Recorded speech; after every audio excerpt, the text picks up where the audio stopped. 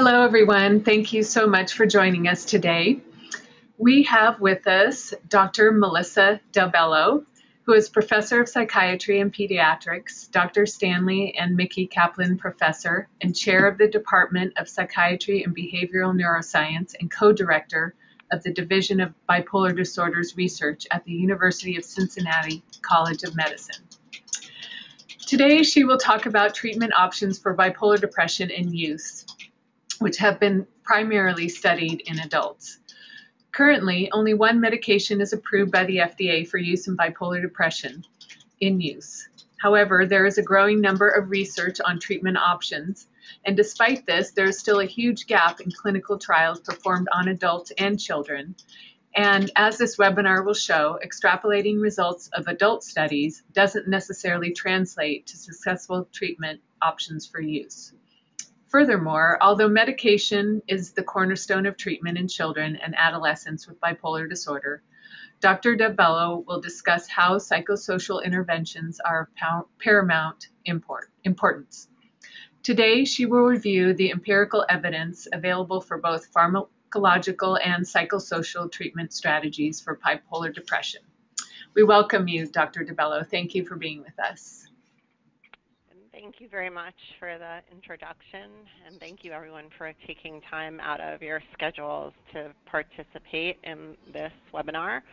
Um, and there will be time at the end um, for questions, and so if anything's not clear during the presentation, please don't hesitate to ask. So we're going to be talking about depression associated with bipolar disorder and we will be first um, covering a little bit about the mood state of depression when it's present in children with bipolar disorder. And then we'll talk about some treatments um, and some unique treatment strategies, such as um, what's the role of antidepressants, what about mood stabilizers? We'll talk about second generation antipsychotics and then talk about psychotherapy and some other resources that may be of potential help and or interest. So what is depression associated with bipolar 1 disorder? When we think bipolar 1 disorder, we think mania. Man, a manic episode is the illness defining episode for bipolar 1 disorder. If you have a manic episode, by definition, you have bipolar 1 disorder. So, what are we talking about when we talk about depression associated with bipolar disorder? Well, we're talking about when a patient presents with the characteristics of a depressed episode, but in the past they have had a prior manic episode. And um, what what presents is the depressive symptoms. So, for example, as we'll talk about a specific patient later, but if you have a child who presents with the classic characteristics of depression, such as depressed or irritable mood, decreased pleasure or interest for most of the day, nearly every day, for two weeks, those are the classic features of depression. And you also need um, other criteria like um, change in appetite, sleep problems, low energy, psychomotor agitation or slowing, suicidality, poor concentration, worthlessness, or poor self esteem. So that's a classic depressed episode. So they present that way, but any child who presents that way should have an evaluation for a prior manic episode. Um, there doesn't necessarily mean there's a manic episode when they present, and they can have a depressive episode with some manic features of a manic episode, which is called mixed features. But they present with a full blown depressive episode. What needs to be assessed is if they've had a history of mania. Additionally, um, the diagnosis of depression associated with bipolar disorder can be confused with disruptive mood dysregulation disorder, which is the new DSM 5 diagnosis that um, is in the differential when a child presents with irritability. Um, and the key characteristic is that you need to find that full blown manic episode with elation, euphoria, irritability, um, and poor sleep, high energy, that has to be present in the past. If that's not present in the past, then it's just unipolar depression, not just, but unipolar depression without a bipolar diagnosis. But why this is so important is that the treatment of a depressive episode that presents with a history of mania versus a depressive episode that does not present with a history of mania is very different, as we'll discuss. So just I wanted to highlight a couple of changes in bipolar disorders with DSM-5. Um, as you may know, um, DSM-5 recently came out this past year, and there is no such thing as a mixed episode by DSM-5 any longer. A mixed episode used to be when a child presented with the features of a depressed episode and a manic episode. And unfortunately, they took that diagnosis somewhat out of DSM-5. And so that's the biggest change that is relevant to bipolar depression. And now the diagnosis, if they present with a mixed episode, can either be predominantly depression with mixed features or mania with mixed features. And we'll talk about the difference between that. But that's important because the treatment may differ depending on they if they present predominantly with depression with some features of mania or predominantly with mania with some features of depression. So what are these mixed feature diagnoses? Well, the one that's most relevant for someone who may present with depression with mixed features is if a child presents predominantly with depression and um, a full-blown episode of depression, but also has some manic or hypomanic symptoms. But they have to have certain manic or hypomanic symptoms that are not overlapping symptoms with depression. They may have an elevated mood, inflated self-esteem, decreased need for sleep, and an increase in energy or goal-directed activity. If they have that plus meet criteria for a full-blown depressive episode, we call that depression with mixed features.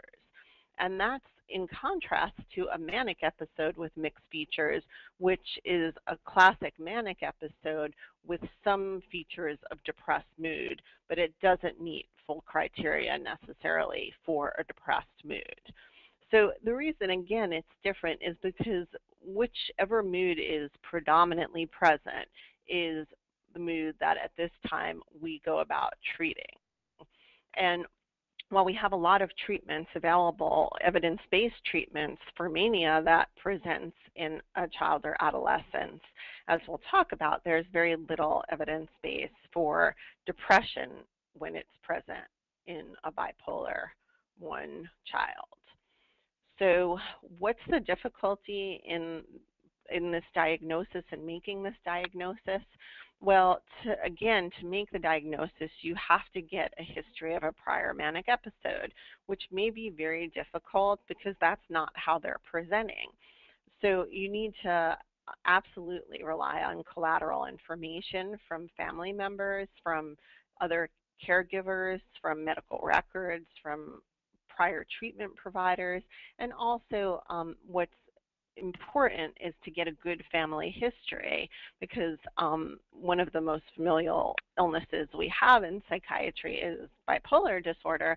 And so if there are relatives with bipolar disorder, um, if they're presenting with a depressive episode, that raises the suspicion um, enormously that maybe they have also a history of a manic episode.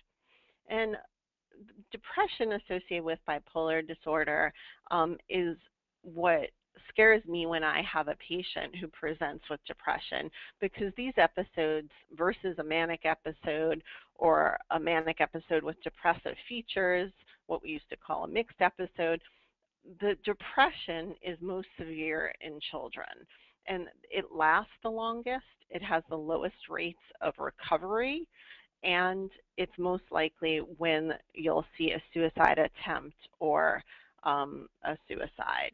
And so depression in a child with bipolar is um, a scary phase of the illness that we are understanding now is a more severe phase. Now um, we need to figure out how best to treat it. And again, suicidality is most likely to occur during a depressed episode in bipolar use. Um, and suicidal ideation and attempts are very common in this population. Um, and um, in any given population, um, there have been some studies that have found that 44% of a bipolar cohort may um, have suicidal ideation or attempts during a given year. Um, and during a lifetime, about a third of people who have their onset of bipolar during childhood or adolescence will have a significant medically serious suicide attempt during the course of their illness. Um, and that, that is higher than when you have your onset of bipolar during adulthood. It's more common to occur that they have suicidality if there is a co-occurring substance use disorder. Um, and so one of the key features in adolescents, particularly who have bipolar disorder, is um, being proactive in ideally preventing or minimizing um, the co-occurring drug and alcohol use.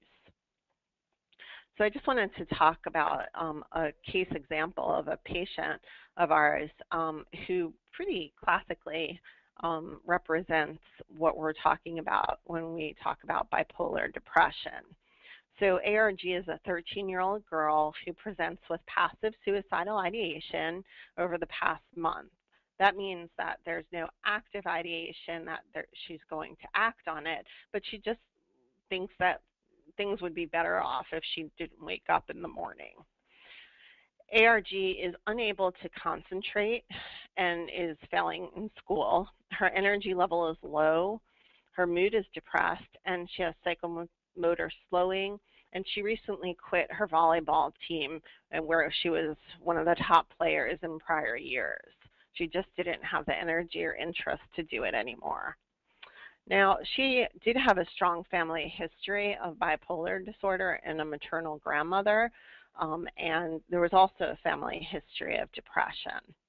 But 12 months prior to presenting as she did, she had a 10 day period of extreme irritability, hypersexuality, poor sleep with high energy, and grandiosity. She felt like she was invincible.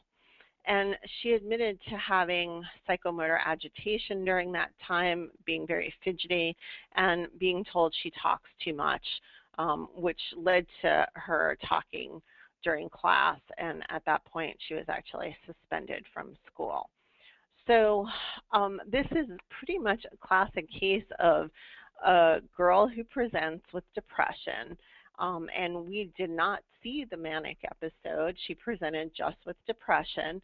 And um, you had to ask about the prior symptoms 12 months ago of a manic episode. And again, in the setting where she did have a family history of bipolar disorder.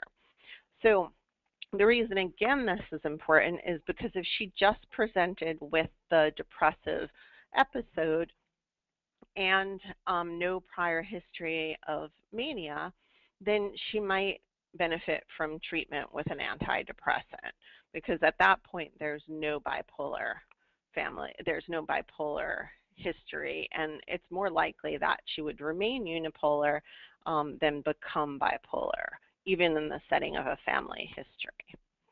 Okay, so let's talk a little bit now and shift gears to talk about treatment. And um, at the in the introduction, um, we talked about how there was one FDA-approved medication for children and adolescents with depression associated with bipolar disorder. And a lot of people guess lithium or lamotrigine, even quetiapine as the one FDA approved medication. It's actually a olanzapine fluoxetine combination and otherwise known as Symbyax. Some people may have heard of it. Um, it's a combination pill that's used a lot of times in primary care settings. Um, if psychiatrists use a olanzapine fluoxetine combination, a lot of times we don't use it in the one pill form. We'll use olanzapine and fluoxetine. But that is, at this point, the only FDA approved medication for use in youth with depression associated with bipolar disorder. And we'll talk about the data that led to that indication, and we'll talk about what data exists for the other three agents that are most commonly thought of to um, be used in depression associated with bipolar disorder. Just to reiterate, um, when you look at the FDA approved medications for acute mania, well, you see here that there are much more medications approved. Lithium is the oldest medication that's been around the longest despite a lack of evidence-based studies. The FDA did approve it for mania and for maintenance treatment. Risperidone, aripiprazole, quetiapine, olanzapine, and most recently asenapine are all approved for acute manic episodes in kids ranging anywhere from 10 to 17 or 13 to 17. Now, for longer term maintenance, lithium, of course, had the indication, and then aripiprazole is most recently been approved, um, and that's not necessarily based on great evidence based, but rather based on long term safety data as well as data in adults and um, short term data that was that had a longitudinal follow up. But for acute depression in children and adolescents who have a diagnosis of bipolar disorder, olanzapine fluoxetine combination is the only medication that is FDA approved in ages 10 to 17, and that approval was in 2013. So clearly, despite being, at least in my opinion, one of the more severe parts of the illness, there are little evidence-based studies to suggest or guide treatment. So I just wanted to bring up a little bit about antidepressants and maybe highlight why it's very important to establish and why I spent so much time talking about diagnosis. And the reason is is because um, as this study showed, and again, it's it's not a huge study, but I think it shows um, to really bring home the point that if somebody presents with bipolar 1 disorder and um, is treated with antidepressants, they have a 80% chance of having a negative reaction. And this is, again, pediatric bipolar disorder. If somebody presents with bipolar 2, it's a 60% chance, and bipolar not otherwise specified, um, it's between 50 and 60 percent. What I think is um, most unfortunate is that if somebody is treated with an antidepressant um, in any of these groups, that there's about a 30% chance that they will have new onset of suicidal ideation. And so um, even if they present with depressive symptoms and they have this diagnosis, probably antidepressant treatment is not the way to go, at least by itself. And so again, that's why it's so important to make the accurate diagnosis when somebody presents with depressive symptoms. So there's also been another study, and this study is a pretty old study, but like I said, there aren't many evidence-based studies. But this study was a retrospective small study of almost 60 patients with bipolar disorder and this study showed us for the first time that maybe SSRIs or antidepressants were the most effective acute treatment for depression in a child with bipolar disorder. So they had almost seven times the chance of working than any other treatment in terms of getting the patient out of a depressed episode. However, there was the greatest chance to relapse in develop manic symptoms. And again, the chance of developing it was three times the chance if you weren't on an antidepressant. So it may make the depressive features better, but it actually can by itself um, accelerate manic symptoms um, returning. And so that is why, you know, when we talk about the olanzapine fluoxetine combination, yes, um, fluoxetine is an antidepressant, but it's being used with olanzapine. And again, this is a small study, a retrospective chart review, but nonetheless suggested that while antidepressants are maybe the most effective treatments for these depressive symptoms, without anything else, they run the risk of exacerbating manic symptoms. So what do we know about lithium? Um, in, in adults, lithium is commonly used. It's been shown to decrease suicidal um, ideation and attempts. Um, in youth, there have been there's been one open label study, not controlled, in adolescents ages 12 to 18, a small study of about 30 patients, um, and it was a six-week study um, of all depressed adolescents who had a prior manic episode. And in this study, about 50% were responders, 30% were remitters to the point where they had minimal symptoms, if any. Um, which, I mean, this isn't 50% responders in an open study. Um, and what you see here on the y-axis is childhood depression rating scale scores. And in contrast to studies with mania, we use the Young Mania Rating Scale score. But studies with depression in bipolar adolescents, youth, we use the Children's Depression Rating Scale. But that rating scale was really developed for unipolar depressed children. Um, we just don't have a better scale at this point for looking at and um, assessing over time depressive symptoms in bipolar youth. But here you can see that um, they were pretty sick, these children, coming into the studies. 40 is generally the criteria for getting into a study. Above 40 is pretty depressed. Here they came in with a 65 on average, but even at seven weeks, or six weeks, sorry, even at six weeks, their CDRS scores were still 40. And so they were still depressed enough to get into the study. So it's not getting many people much better. Side effects, no surprise with lithium, nausea, vomiting, polyuria, polydipsia, headaches. So increased thirst and increased urination, very common and very disruptive, can be very disruptive. What about lamotrigine? Lamotrigine, Lamictal is the other name for it, um, is used a lot for maintenance or prevention of recurrent episodes in adults. Um, there has been one open study of lamotrigine um, in a group of depressed bipolar 1, bipolar 2, or bipolar not otherwise specified adolescents. The problem with lamotrigine is that you have to titrate it fairly slowly to avoid um, the main side effect that we worry about with lamotrigine, which is Stevens-Johnson's or a rash all over your body that can end up um, in some cases having um, your kidneys and your heart fail and um, even with death if it's not caught early.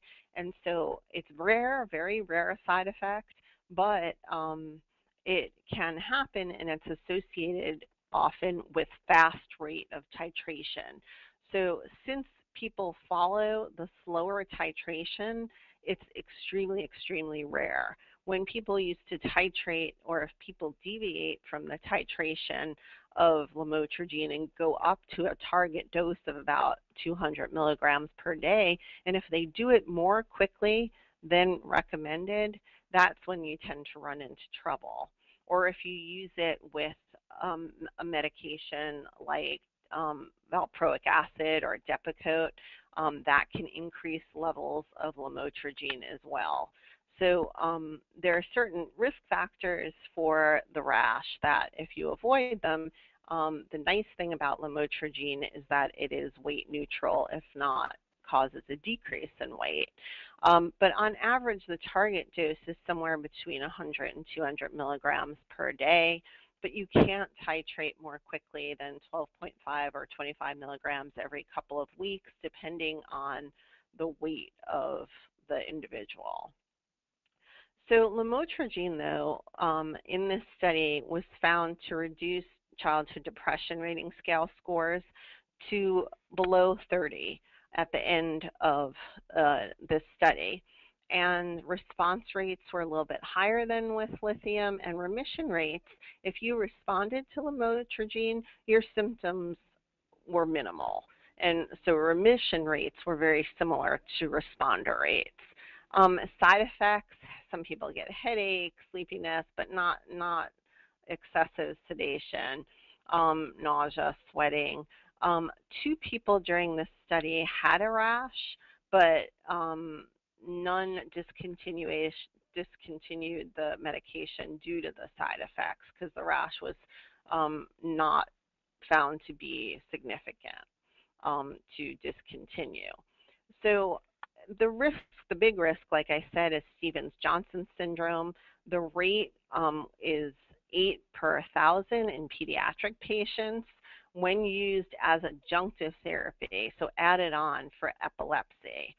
Um, in adults, the rate is 3 per 1,000 of any rash. Again, this is not just Stevens-Johnson, this is any rash.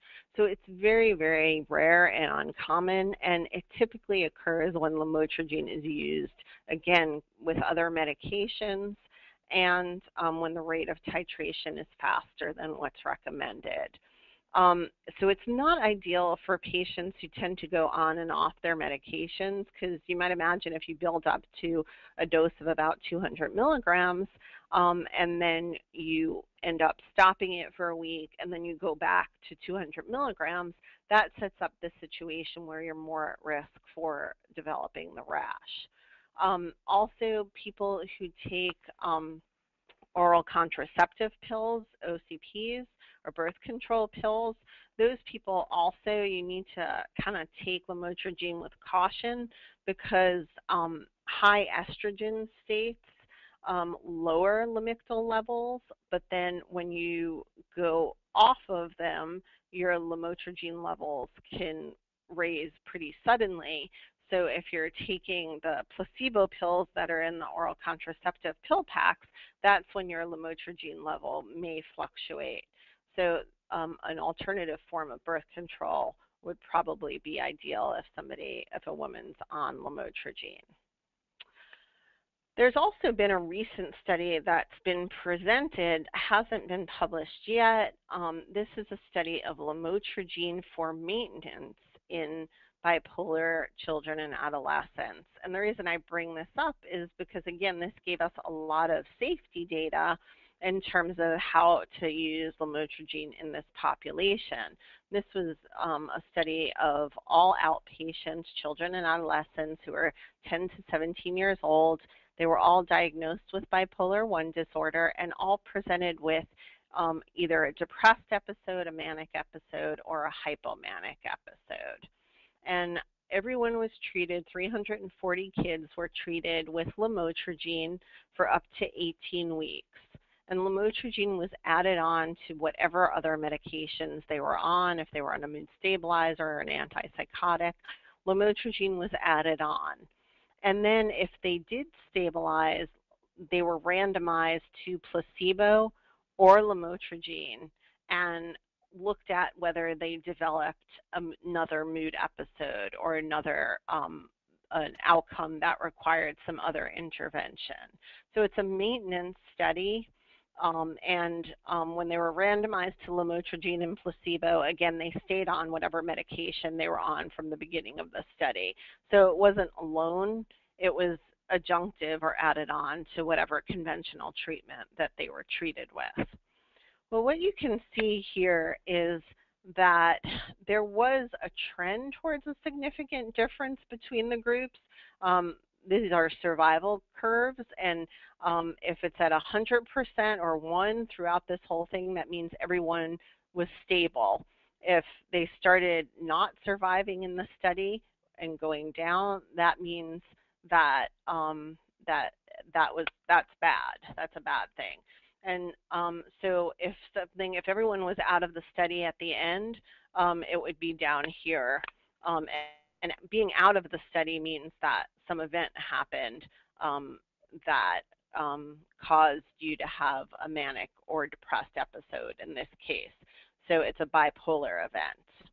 So here you can see that you were more likely to survive in the study without a bipolar event or another episode with lamotrigine at most time points versus placebo, but it didn't separate significantly. What I think is most interesting is in the 13 to 17 year old age range versus the little kids, the 10 to 12 year olds, there was greater separation in the adolescents. And that's a pretty significant separation here. And it did reach statistical significance. So perhaps for the adolescent group, lamotrigine may be more effective than placebo for um, maintaining or preventing another bipolar event. Um, and so I just bring it up again because in general, lamotrigine was well tolerated in this study that included, you know, over 300 children initially. Okay, so what double-blind placebo-controlled data. That's our gold standard. What do we have? What evidence for? These have been all relatively small open studies um, for treating depression in bipolar children. Well, there have been two studies with quetiapine or Seroquel, and these studies were based on um, studies that in adults suggest quetiapine is fairly effective for bipolar depression we did an initial study with our colleagues at Stanford. Um, there were 32 kids in the study, and they were um, all adolescents, all had depression associated with bipolar disorder. And what we found here is um, that this, again, is baseline childhood depression rating scale scores. They were in both groups, the placebo group or the quetiapine group. Um, they were about 55. And then at endpoint, both groups had a reduction in depressive symptoms, but um, there was no difference between the groups. So this study tells us that quetiapine was no more effective than placebo um, and that both treatments may be effective or being in a study where you're coming in weekly um, for some sort of interaction with study staff um, is not no treatment. So they're actually getting some sort of supportive therapy, um, and that may be enough for these children to have some improvement in their depressive scores. Um, but then, you know, that's a small study, whether you believe it or not. You know, again, it's a small study, and we had a large placebo effect. But um, then there was the larger study with almost 200 children. Um, this was of the extended release quetiapine. And again, the same design that it was placebo or quetiapine for depression associated with, in this case, it was bipolar 1 or bipolar 2.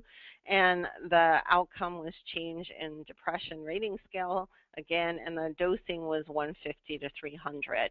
Although it was the extended release, that's the same dosing we used in the two-site study. And pretty much identical to the other study, the placebo response was similar to the quetiapine XR response and this was in almost 10 times as many kids. And so there was no statistically significant difference. Both groups had about a 25 to 30 point reduction um, in the, their depressive rating scale scores, which is pretty significant within each group.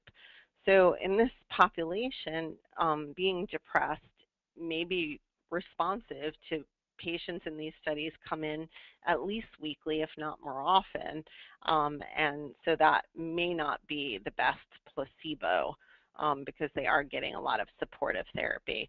No surprise in terms of side effects, weight gain was significant, sedation, headaches, dizziness, um, no, no big surprises with quetiapine. What about the olanzapine fluoxetine combination? So this is a study um, that was done because um, or OFC is indicated for adults with bipolar depression. And because of federal laws at this point, they have to do a study um, similar to their adult indications in kids um, with the same diagnosis. So this, the study was done in bipolar depressed kids. They all had bipolar 1 disorder. And the randomization in this study was 2 to 1.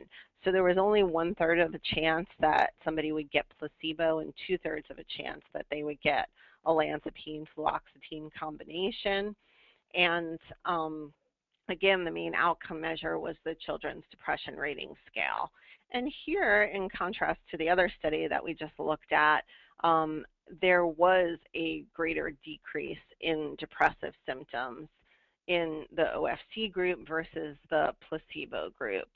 Um, and, you know, it started off that they were pretty similar, but the OFC group reduced more significantly. But again, if you look at the reduction in depressive symptoms, it was similar in the OFC group to what we just talked about in the quetiapine group. In this study, though, the placebo response was less than in the other studies. So in this study, um, placebo response was minimized, and that led to a significant difference and the FDA indication. However, as most people know, with olanzapine, the side effects were pretty significant. And about 14% discontinued in this study um, during the course of the study. The study was, I should have said, an eight week study. Um, and about 15% discontinued. And weight increase was about 20%. This is weight increase that was complained about during the study. Um, but you can see that um, in the olanzapine fluoxetine group, there was 4.4 kilograms, which is about 10 pounds. And in the placebo group, there was minimal weight gain. Um, so again, about 50% of patients gain more than 7% of their body weight from baseline. And so that's pretty significant, not an extremely well tolerated medication. Um, fasting triglycerides, lipids um, were abnormal as well, more likely in the OFC group. Prolactin elevation was high um, as well, and that can lead to menstrual problems and um, breast buds developing in boys. And so, um, again, OFC may be effective, but it's not particularly well tolerated. And I just wanted to bring up um, a newer medication because it's the only medication that we don't know about yet in kids, but in adults it's approved for bipolar depression. The medication is lurasidone um, or Latuda, and this medication um, may be better tolerated, at least in adults, may be associated with less weight gain. Um, it has unique um, affinities um, high affinities for 5-HT2A um, antagonism and 5-HT7 antagonism. It is a second generation antipsychotic, um, but um, in adults it was shown to be highly effective for bipolar depression. A couple of caveats with the medication. Um, it is metabolized by cytochrome P450 3A4, so can interact with some medications um, and it has to be taken with at least 350 calories, which may be difficult at times, particularly if you're dosing it in the evening or um, or late afternoon. So, um, but we're, we're likely to hear more about lurasidone for bipolar depression. There is an ongoing study in um, pediatrics um, at this point. Hopefully within the next year or so, we'll have some more data. So I just wanted in the last couple of minutes to talk about psychotherapeutic interventions that are evidence-based for depression associated with bipolar disorder because really the effect sizes for these medications or how effective they are, uh, for these interventions um, or how effective they are maybe just as effective as the medications we talked about. Um, and so, you know, while medication, it would be nice and hopefully it would solve the problem more quickly. Um, therapy might be the more long-term solution for depression associated with bipolar disorder in kids. Um, evidence-based strategies, cognitive behavioral therapy. Um, this is where you, you know, attempt to change the negative thought patterns and behaviors. Um, David Miklowitz's family focus therapy. Um, that uh, the study in bipolar youth and in adults um, seems to have the greatest effect for depression or depressive symptoms. Um, and it includes families or caregivers and it improves family coping strategies, communication, problem solving. It also has an educational component to it that um, teaches um, the family and the um, child to identify um, trigger symptoms or events and focuses a bit on prevention. Um, then there's also interpersonal and social rhythm therapy. We have very little data in children, but in adults, um, and it seems to make sense that this type of treatment would get children into routines, increase structure, um, maintain normal sleep cycles, all of which is very important to prevent recurrent episodes. Psychoeducation, that of course is important. Um, any psychoeducational approach, um, the sooner you treat depressive symptoms, the more likely the treatment is going to be effective. So this strategy um, focuses on teaching children and the family that um, to recognize early warning signs of relapse. And then mindfulness-based therapies.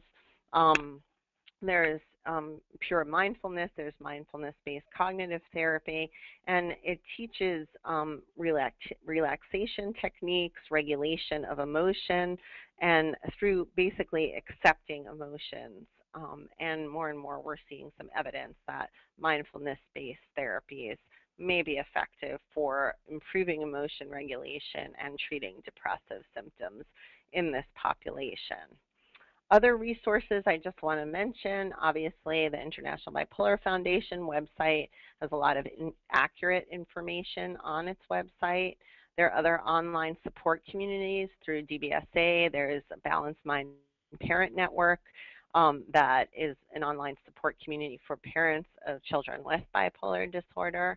And then um, hopefully everyone's seen the American Academy of Child and Adolescent Psychiatry Parents Medication Guide for Children with Bipolar Disorder. If not, um, ACAP has parent med guides for several mental health issues um, and the Parent Med Guide, parentsmedguide.org, or if you search on the ACAP website, you can access it.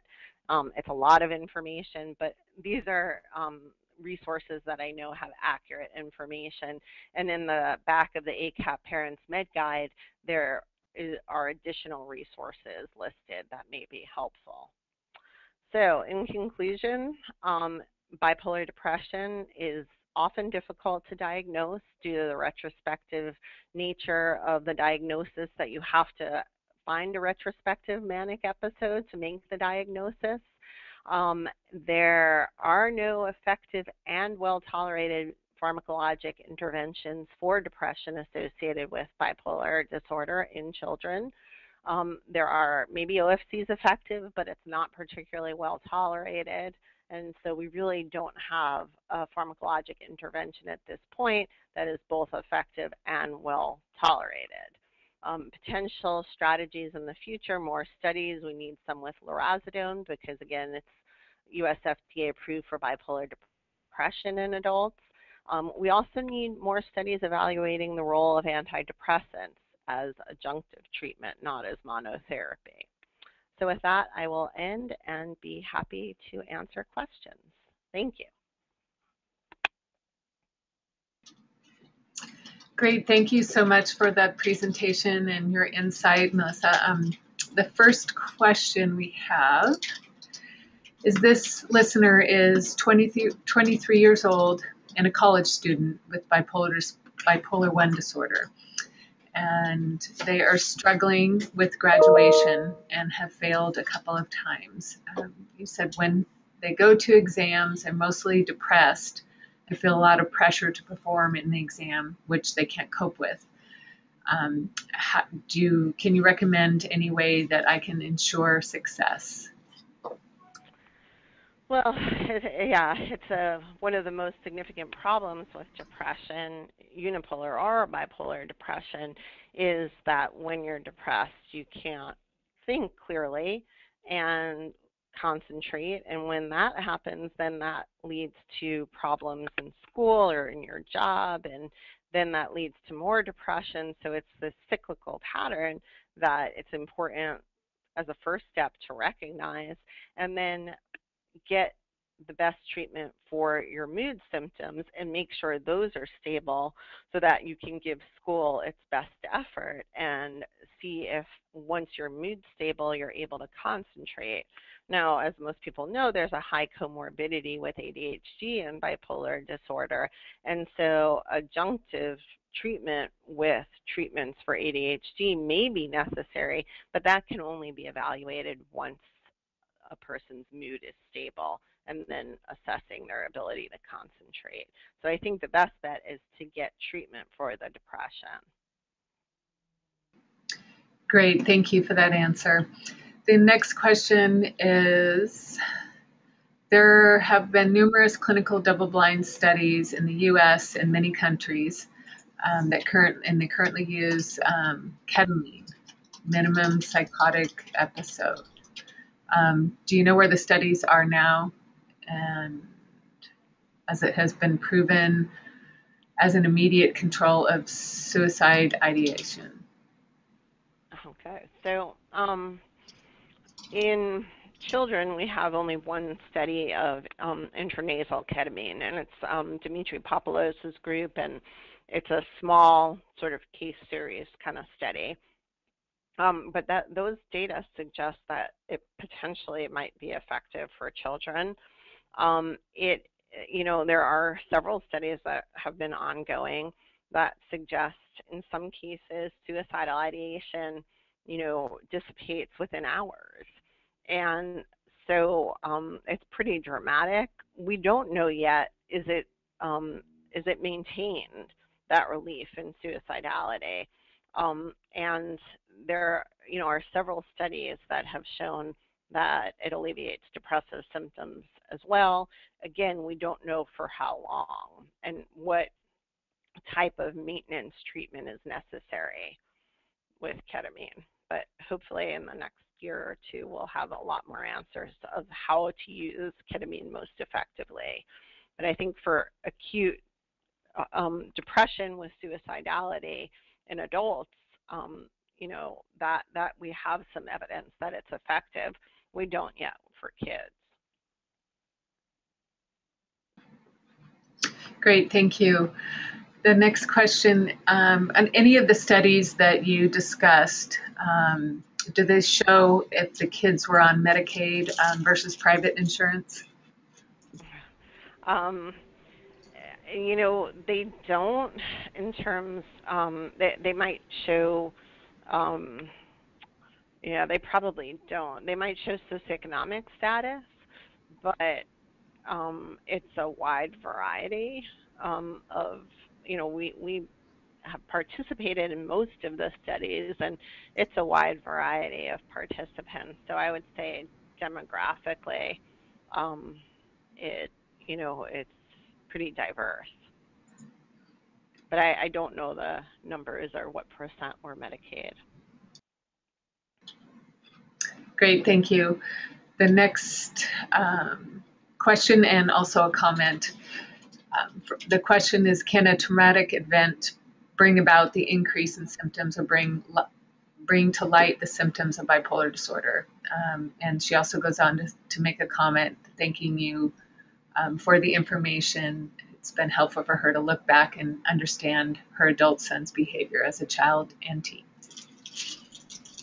Thank you for your um, comment. I appreciate it. And um, traumatic events, we know that stressful life events can trigger the onset of illness and the onset of recurrent episodes, um, particularly early in the course. So once you've had, um, you know, four episodes it's not as clear cut of a relationship between stressful life events and the onset of an episode. But early in the course, we absolutely know that stressful life events, good stressful life events, and bad stressful life events, um, can trigger the onset of bipolar. But it wouldn't trigger it unless people have the right genetic makeup.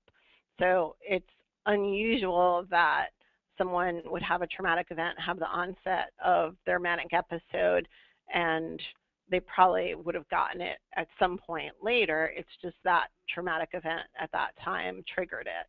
So um, there is a relationship. There's also a relationship between um, onset of substance use as well as poor sleep or um, traveling between different um, time zones that may trigger the onset of a, a new episode.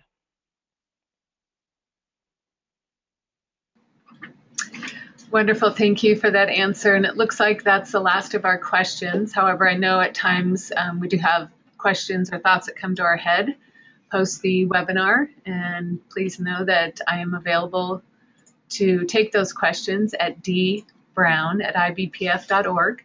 And also, I want to remind you that this uh, webinar has been recorded and will be archived on our website for further viewing. Um, and thank you all for joining us today. And thank you so much, um, Dr. DelBello, for um, sharing with us. Thank you for having me. Bye.